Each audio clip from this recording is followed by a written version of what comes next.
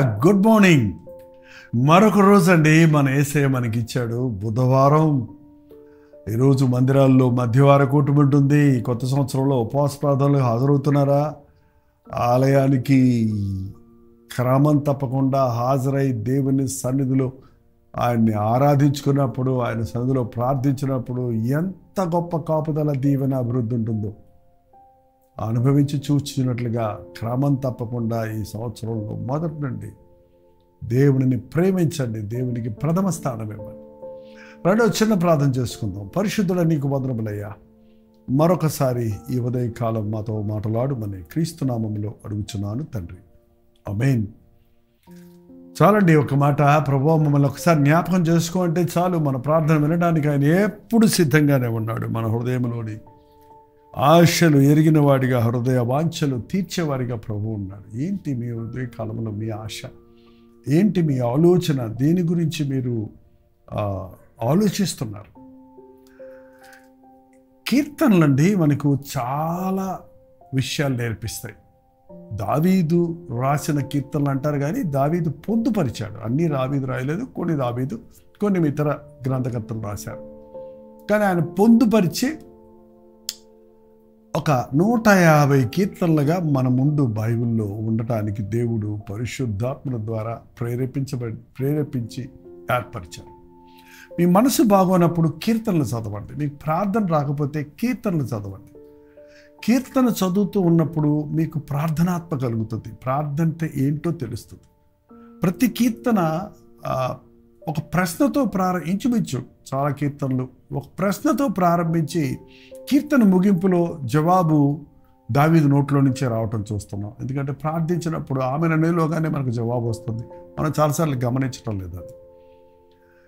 ప్రా కీర్తనలో చూసినట్లయితే అనేకమైన సందర్భాల్లో మనకి హెచ్చరిక ఆదరణ కనువిప్పు స్థుతి కృతజ్ఞతలు మన హృదయంలో కలిగేటట్టుగా కీర్తన చేస్తుంది ఇవాళ ఇరవై ఏడో కీర్తన. మనకి అనుదిన ధ్యానంలో క్లుప్తంగానే ఎందుకంటే మీరు అడావిడుకుంటారు కదా మార్నింగ్ అందుకని ఒక షార్ట్ మెసేజ్ బిన్ ట్వంటీ మినిట్స్ లోపలనే ప్రోగ్రామ్ ముగించేస్తున్నాం సెవెంటీన్ సిక్స్టీన్ సెవెంటీన్ మినిట్స్లో. మీరు ఈ రోజు ఈ మొదట ఉదయం విన్న మాటను రోజంతా మనసులో పెట్టుకొని ధ్యానిస్తారని మీకు వదిలేస్తున్నాను. కాబట్టి ఉదయకాలం మనం చదివిన ధ్యానించిన విషయాలను మీరు మళ్ళీ మళ్ళీ మళ్ళీ ధ్యానిస్తుంటే ఈ రోజంతా మీకు అనుకూలం జరిగినప్పుడు ఆ వాక్య భాగాలు మీరు చదువుకుంటే తప్పకుండా నూరంతల ఫలాన్ని మీరు పొందుతారు. కీర్తన ఇరవై ఏడు ఈరోజు ఏదో సమయంలో మరొకసారి మీ అంతట మీరు విశ్వాసంతో నాతో మాట్లాడడం చదివి చూడండి. నాకంటే గొప్ప ప్రసంగం మీరు చేయగలుగుతారు. చేయటమే కాదు మీరు అనుభవించి చెప్పగలుగుతారు. అవునండి. వాక్యం ఎవరు ధ్యానించినా అందులోని సారం పరిశుద్ధాత్ముడు మనకు తప్పక బయలుపరుస్తాడు. ఈ కీర్తన ఇరవై ఏడో కీర్తనలో దావిద్ అంటున్నాడు యహోవా నాకు వెలుగు కలి యహోవా నాకు వెలుగును రక్షణై ఉన్నాడు. నేను ఎవరికి భయపడదును? యహోవా నా ప్రాణ దుర్గము ఎవరికి వెరతును? నేను ఎవరికి భయపడాలి? నేను ఎవరికి వెరవాలి? ఎందుకు భయపడిపోవాలి? నాకు యేసు ప్రభు నా దేవుడు నాకు వెలుగు రక్షణ. నాకు దారి చూపించేవాడిగా ఉన్నాడు నాకు ర- కాపాడేవాడిగా ఉన్నాడు. నన్ను నా ప్రాణానికి దుర్గంగా ఉన్నాడు. కోటగా ఉన్నాడు. ఆయన కాపుదల్లో నేను ఉన్నాను. నేను దేనికి భయపడక్కర్లేదు. అవునండి ఇస్రాయేల్ని కాపాడువాడు కునుకడు నిద్రించడు. మీరు దేవుని కాపుదలను కలిగి ఉన్నారా? దేవుని యొక్క కంచె మీ చుట్టూ ఉందా? దేవుని కంచెలో మీరున్నారా? మీరు ఎక్కడుంటే అక్కడ కంచొచ్చి మీ చుట్టూ ఉండాలని అనుకుంటారేమో కానీ దేవుడు చిత్తం ఎక్కడుందో దేవుడు ఎక్కడున్నాడో అక్కడ మనం ఉంటే ఆయన కంచె మన చుట్టూ ఉంటుంది. నువ్వు ఆ మూవీ హాల్లో కూర్చొని నీ కంచె నా చుట్టూ ఉంచమంటే కుదురుద్దా? నువ్వు ఒక పాపస్థలంలో ఉండి నన్ను ఇక్కడ కాపాడయ్యా అంటే అవుతుందా?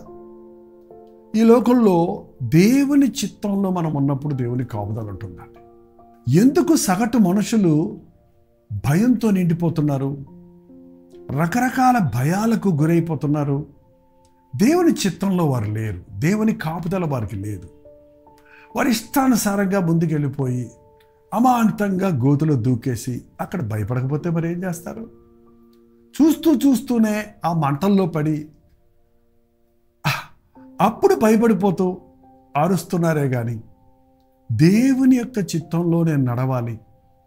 ఇది పాపము ఇది నాశన మార్గము ఇది అపవిత్రత అని గుర్తించకుండా ఈ త్రాగుడికి మద్యానికి పొగ త్రాగడానికి జారత్వానికి జూదాలకు అల్పకాల పాప భోగాలకు చోటిచ్చేవారు వారి జీవితాల్లో చేసినప్పుడు పాపం సరదాగా ఉందనిపిస్తుందేమో కానీ ఆ తర్వాత ఒక తీరని భయం వారిని పట్టుకొని పీడిస్తూ ఉంది. పైకి మేకపోతే గంభీరం చూపిస్తారేమో కానీ తన పాపం తనని దోషారోపణ చేస్తున్నప్పుడు తెలిసిపోద్దేమో పట్టబడతానేమో అవమానాలు పొందుతానేమో నిందించబడతానేమో అనే భయంతోనే బతుకుతుంటారండి.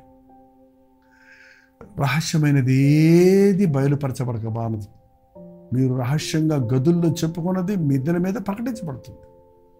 ఏదో ఒక రోజు తప్పకుండా మనం ఎవరికీ తెలియదు అనుకున్నది బట్టబయలవుతుందండి అందుకే పాపం చేసేవాడు అది బట్టబయలవుతుందనే ఆ బాధతో అనుక్షణం వేధించబడుతూ ఉంటాడు. ఏంటి మీ భయం ఈ రోజున చెప్పండి? మీ చేసిన తప్పు ఎవరికో తెలిసిపోద్దని భయమా? మీ మీద ఎవరో నిందలేస్తారని భయమా? మిమ్మల్ని ఎవరో కించపరుస్తారని భయమా? మిమ్మల్ని ఎవరో బాధ పెట్టేస్తారని భయమా? మీ దగ్గర ఉన్నది ఏదో దోచుకెళ్ళిపోతారని భయమా? మిమ్మల్ని అవమానాలు పాలు చేస్తారని భయమా? మిమ్మల్ని నిర్లక్ష్యం చేస్తారని భయమా? అరే ఒక రకమా. ప్రతి మనుషుడు ఏదో ఒక భయంతో పీడించబడుతున్నాడండి. లేకపోతే గాంభీర్యం చూస్తూ మీసాలు తిప్పే వాళ్ళు ఉంటారు కానీ వాళ్ళ గుండెల్లో దడదడలాడుతూనే ఉంటుంది. వారి చేసిన తప్పు వారిని పట్టించి పట్టిస్తుందేమోననే భయంతో. మనం వీధిలో వెళ్తున్నప్పుడు కుక్కలు మురుగుతుంటాయండి. ఎందుకు మురుగుతాయో మీకు తెలుసా? మురిగే కుక్క కరవదు అంటారు. అది మురుగుతుందంటే నిన్ను చూసి భయపడి మురుగుతుంది. అది మనల్ని చూసి భయపడుతుంటే మనం ఏం చేస్తాం? దానికి భయపడి పరిగెడుతుంటాం. అప్పుడు మనల్ని ఎంటబడుతుంది అది. చూసారా? మనం కుక్కలకు భయపడతాం కాదు కుక్కలు మనకు భయపడినప్పుడే మొరుగుతాయి. చాలామంది తప్పు చేసినప్పుడు ఆ తప్పును మనం ఖండించడానికి ప్రయత్నించినప్పుడు దబాయిస్తారండి. చాలా దెయ్యాలు వెళ్ళగొట్టిన అనుభవాలు నాకున్నాయి. ఒక దెయ్యం వెళ్ళగొడుతున్నప్పుడు అది మే ఎంతగా రెచ్చిపోతుందంటే నేను వెళ్ళను నువ్వేం చేస్తావు చేసుకో ఆయ్ ఊయి అన్నట్టు కాసేపు కేకలేస్తుంది. అయితే గట్టిగా ప్రభునామంలో గద్దించినప్పుడు పోతున్నాను అని విడిచిపెట్టిపోతుంది. అందుకని అందుకనే అపవాదిని ఎదిరించుడి అప్పుడు వాడి మీ యొద్ద నుండి పారిపోవును అని దేవుడు వాక్యం సెలవిస్తుంది ఏంటి నీకు ఈ భయం ఇవాళ చెప్పండి? నువ్వు చేసిన పాప నిన్ను పట్టుకుంటుందన్న భయమా? లేక ఈ లోకస్తులు నీ మీద నిందలేసి నీకున్న ఆ యొక్క స్థాయిని దింపేస్తారని భయమా చాలామందికి అందరినూ నన్ను అవమానపరిచేస్తారేమో నన్ను కించపరిచేస్తారేమో నన్ను అణిచేస్తారేమో అనే భయం ఉంటాయండి ఏదో భయం మట్టి ప్రతి మనిషిని పట్టి పీడిస్తుంది. అందుకే ప్రభు భయపడకుడి భయపడకుడి భయపడకము అని మూడు వందల అరవై సార్లు సార్లు నుంచి చెప్పినట్టు కనబడుతుంది. రోజు దేవుడు మనతో చెప్తున్నాడు భయపడొద్దు భయపడొద్దు భయపడొద్దు. తామిదంటున్నాడు నేను ఎవరికి భయపడతాను? నా ప్రాణ దుర్గం ఆయన. నాకు కాపుదల ఉంది. నా ప్రాణాన్ని ఎవరు ముట్టలేడు. నాకెవరు కీడు చేయలేరు.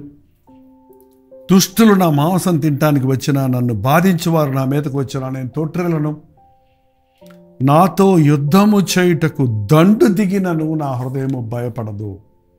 ఒక దండే దిగినప్పటికీ సరే మనం చాలాసార్లు వాళ్ళు ఎక్కువ మంది ఉన్నారు నేను తక్కువ ఉన్నాను వాళ్ళు గొప్పోళ్ళు నేను నేను వాళ్ళకి అధికారం ఉంది నాకు లేదు వారు బలం ఉంది నాకు లేదు అని మనం కంపేర్ చేసుకుంటుంటాం. దావిది అంటున్నాడు దండు దిగినా కూడా నేను భయపడ్డాను ఓ పెద్ద మిలిటరీ దిగినా కూడా నన్ను ఏం చేయలేదు నేను ఒంటరి వాడిని అయినా కూడా ఎందుకంటే నాతో ప్రభు ఉన్నాడు నా ప్రభు ఉన్నాడు. దండు దిగినను నేను నా హృదయము భయపడదు నా మీదకి యుద్ధము రేగినను. దీనిలో నేను ధైర్యము విడవకుందును ఎందుకంటే మన పక్షములో ఉన్న ప్రభు ఒకసారి ఎలిషా ప్రభు దగ్గరికి పనివాడు వచ్చి అయా శత్రువులు వచ్చాడు చాలా గుంపు ఉన్నారు పెద్ద సైన్యం ఉంది అక్కడ. మన మీదకి వచ్చేస్తున్నారు అని చెబితే ఆ దైవజనుడు అతన్ని తీసుకుని వెళ్ళి ప్రభు అతని కన్నులు తెరవమన్నప్పుడు అతని కన్నులు తెరవబడినప్పుడు ఆ శత్రు సమయ సైన్యానికి మించిన దేవుని సైన్యం దేవుని దూతలు వారికంటే రెండంతలు ఎక్కువ ఉండడం చూచి చూపి చూసినప్పుడు ఆశ్చర్యపడ్డాడండి. నీ మీదకు ఎంతమంది దండెత్తి వచ్చినా ప్రభువు నీకంటే గొప్పవాడు నీ శత్రువు కంటే గొప్పవాడు కాబట్టి అంత గొప్ప కాపుదలిస్తాడు ఎప్పుడు గుర్తుపెట్టుకోండి. మీలో ఉన్నవాడు లోకంలో ఉన్నవాడి కంటే గొప్పవాడు. కాబట్టి యేసు ప్రభువునందు విశ్వాసం ఉంచండి. భయపడద్దు. దిగులు పడద్దు. పరిస్థితులు మారినా? మీరు ప్రేమించిన వారు మీకు విరోధులుగా మారినా? మీరు ఎదురు చూడని పరిస్థితుల్లో మనుషులు తిరగబడినా? మీ మేలు పొంది మీకు కీడు చేయడానికి ప్రయత్నించినా? మీ మీదకు ఒక దండే దిగొచ్చిన ఒక గుంపే కథలొచ్చిన నా ప్రభువు నా ప్రాణదుర్గంగా ఉన్నాడు. నాకు కాపుదలగా ఉన్నాడు. నా పక్షంలో ఉన్నాడు. నన్ను విడువను ఎడవాయని అన్నాడు గనుక నా శత్రువుల మీద నాకు జయమిచ్చేవాడు ఆయనే. ఇంకా ఐదో వచ్చిన మీరు తిరిగి చదవండి. ఆపత్కాలమున ఆయన తన పర్ణశాలలో నన్ను దాచును. తన గుడారపు మాటను నన్ను దాచును. ఆపత్కాలం వస్తే తన పర్ణశాలలో నన్ను దాస్తాడు. ఇప్పుడు నన్ను చుట్టుకొని ఉన్న నా శత్రువుల కంటే ఎత్తుగా నా తల ఎత్తబడను. నా శత్రువులు నా చుట్టూ తొల చుట్టుకొని ఉంటే వారికి మించి ఆ శత్రువుల కంటే ఎత్తుగా ఆయన తన నా తలను ఎత్తువాడు. ఆయన గుడారములో నేను ఉత్సాహధ్వని చేయుచు బలులు అర్పించదను. మీరు చదవండి తర్వాత పదవచనం నా తల్లిదండ్రులు నన్ను విడిచినను యహోవా నన్ను చేరదీయను. పద్దెనిమిదో వచనం పదమూడవ వచనం. సజీవుల దేశము నేను యహోవా దయ పొందుదును. సజీవుల దేశములో దేశమున నేను యహోవా దయ పొందు నన్ను నమ్మకము నాకు లేని ఎడల నేనేమవుతును యహోవా కొరకు కనిపెట్టుకుని ఉండము ధైర్యము తెచ్చుకొని నీ హృదయమును నిబ్బరముగా ఉంచుకొనుము. ఎహోవా కొరకు కనిపెట్టుకొని ఉంటుము. దేవుడి కాపుదల కలిగినప్పుడు మనకి ఎంత గొప్ప ధైర్యమో చూడండి. ఆయన మన చుట్టూ కాపుదలు ఉంటాడు. మన శత్రువుల మంటే మన తలను ఎత్తు చేస్తాడు. నిన్ను అవహేళన చేసిన నిన్ను కించపరచిన నీ శత్రువుల కంటే నీ తలను ఎత్తు చేసి సిగ్గుపరిచిన వారే సిగ్గుపడినట్లుగా చేయడానికి నీవు నమ్మిన ప్రభు నమ్మకమైన దేవుడిగా ఉన్నాడని. ఎరిగి ప్రభు నువ్వు నా కంచెగా ఉండు నా కాపుదలగా ఉండు నేను నిన్నే నమ్మి ఉన్నానని మనం సమస్తమైన భారాన్ని ప్రభు మీద పెట్టి ఆయనకి మనల్ని మనం అప్పగించుకుంటే ఆయన మన ప్రాణదుర్గముగా ఉండి మన కీడనన్నిటి నుండి మనల్ని విడిపిస్తాడు. ప్రార్థన. పరిశుద్ధుడ ప్రేమగల తండ్రి ఎవరెవరు ఎక్కడెక్కడి నుంచి ఈ మాటలు వింటున్నారో ఒక్కసారి వారిని దర్శించుడు ఆయన. అనేక రకాల భయాలు యచదనాలు మమ్మల్ని పట్టి పీడిస్తుండగా. యుద్ధ భయము భూకంపాల భయము ప్రకృతి వైపరీత్యాల భయము మనుషుల భయము చీకటి భయము అనేక రకాల ఆర్థిక ఇబ్బందుల భయము మమ్మల్ని కృంగదీస్తుండగా జబ్బుల భయము మమ్మల్ని నిరుత్సాహపరుస్తుండగా. మా మీదకు దండు దిగి వచ్చిన నా దేవుడు నన్ను విడిచిపెట్టడు. నా శత్రువులు ఎదుట నా తలను ఎత్తు చేస్తాడన్న విశ్వాసం కలిగి ఉండడానికి సహాయం చేయి. పరిస్థితులు మారినా అందరూ నన్ను విడిచిన నా తల్లిదండ్రులు కూడా నన్ను విడిచిన నా దేవుడు నన్ను చేరదీయును. అన్నంత విశ్వాసముతో నీ అందు నమ్మిక కలిగి జీవించుటకు నీకు మొరపెట్టుకున్నటకు మేము ఆరాధించే దేవుడు ఎంత గొప్పవాడో గుర్తించి నీకు స్థుతులు చెల్లించుటకు. మాకు ఒక్కొక్కరికి సహాయం చేయమని క్రీస్తునామంలో అడుగుచున్నాను తండ్రి. అమేన్ తండ్రి అయిన దేవుని యొక్క ప్రేమయు కుమారుడైన క్రీస్తు యొక్క కృపయు ఆదరణకర్త అయిన పరిశుద్ధాత్మక సహవాసం కూడి వచ్చిన మనందరికీ ఇప్పుడు సదాకాలం తోడయుండును గాక అమేన్ దేవుని స్తోత్రం మీ ప్రార్థన అవసరతల భారాలు దేవుని ముందు పెడదామండి. మీరు ప్రార్థించండి. మేము కూడా మీకోసం ప్రార్థించాలని ఆశపడితే మీ పక్షంలో విజ్ఞాపన చేయడానికి మేము ఆశతో ఉన్నాం. మీ పేరు ఊరు తెలియచేస్తూ మీ ప్రార్థన అవసరతలు ప్రైజ్ రిపోర్ట్స్ ఒక టెక్స్ట్ లేక వాయిస్ మెసేజ్ ద్వారా nine five four zero four once నెంబర్కి ఇండియాలో ఉంటే ఇతర దేశాల్లో ఉంటే nine one double zero one double zero triple eight నెంబర్కి వాట్సాప్ పంపించండి. కొన్ని వేల వాట్సాప్ మెసేజ్ మేము అందుకుంటున్నాం కాబట్టి వాటిని వేరు చేయడానికి వీలుగా రెండు నెంబర్లు ఇస్తున్నాం. కాబట్టి ఎప్పటికప్పుడు మీకోసం ప్రార్థిస్తూ ఉన్నాం. మీరు ప్రార్థించండి. దేవుడు అనేకులకు ప్రార్థన జవాబులు ఇస్తున్నారని తెలియజేస్తున్నారు బట్టి దేవుడిని స్థుతిస్తూ ఉన్నాం. ప్రభుచిత్తమైతే ఈ మధ్యాహ్నం మూడు గంటల హెచ్చరిక రాత్రి తొమ్మిది గంటలకు కలవరి ప్రతిధ్వని ఇవాళ మధ్యవార ప్రార్థనా కూటం కనుక ప్రభుత్వమైతే కల్వరి చర్చిలో నుండి మీకు లైవ్ ఇస్తున్నాం. మాతో పాటు జాయిన్ అయ్యి జూమ్లో కూడా ఏకీపించి మాతో పాటు ప్రార్థించండి. అంతవరకు దేవుడి మహాకృప మీకు తోడేయడం కాక వందనాలు.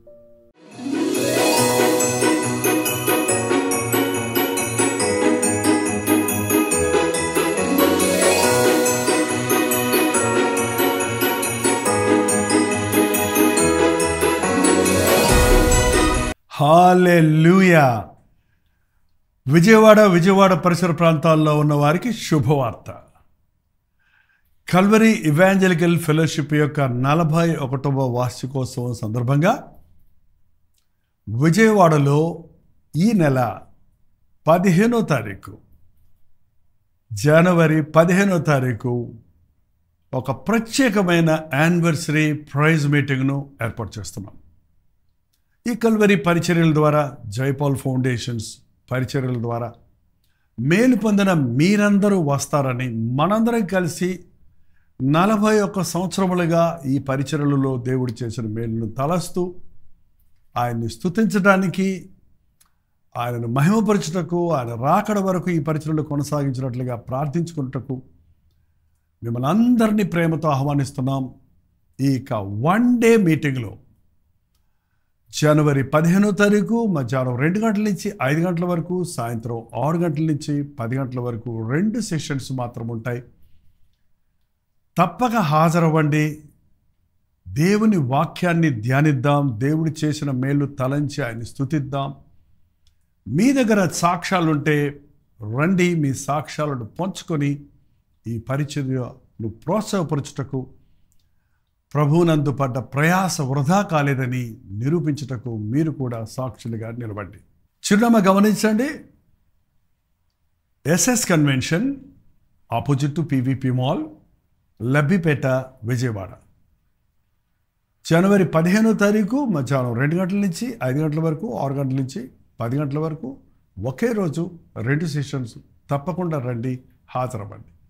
ఈ విషయం మీకు ఇంకా వివరాలు కావాలంటే eight nine three nine three nine three nine three nine three nine అనే నెంబర్కి కాల్ చేయండి. లేదంటే eight one double four one two three four five six అనే నెంబర్కి మీరు కాల్ చేయొచ్చు లేదా వాట్సాప్ మెసేజ్ పెట్టచ్చు. తప్పక వస్తారు కదా.